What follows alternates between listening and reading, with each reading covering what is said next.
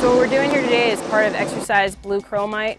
We have uh, motor transport Marines, we have HST Marines, engineers, as well as a CH-53 pilot. And what they're doing today is they're moving a floating bridge from LZ Flamingo to Kissimmee Dam.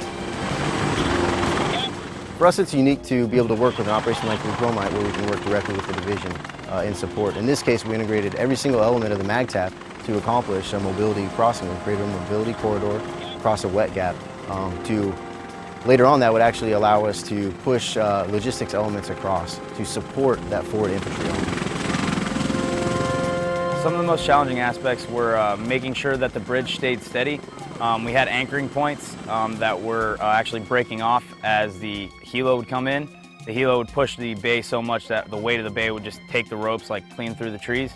So that was a hard thing that we had to do was making sure that we had enough boat power to um, maintain a straight bridge.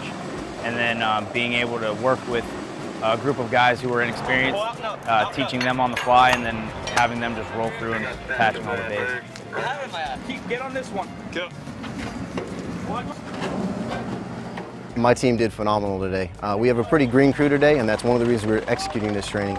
Uh, but they, had, they, they worked today like they've been working together for years.